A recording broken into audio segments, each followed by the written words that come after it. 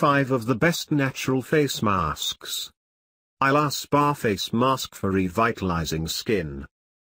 Apply the mask to clean skin, avoiding the lips and eye area. Allow to dry for 15 minutes, and then rinse with warm water. Use 2 to 3 times per week. Province Apothecary Detoxifying Plus Clarifying Clay Mask. Combine 2 teaspoons of the dry mask with 2 teaspoons of honey or water.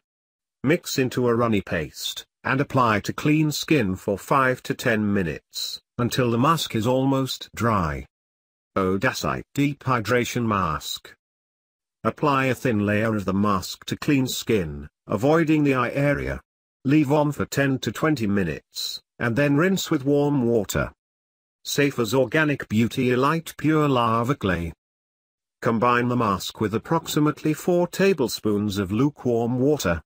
Mix it into a creamy paste, and apply to wet.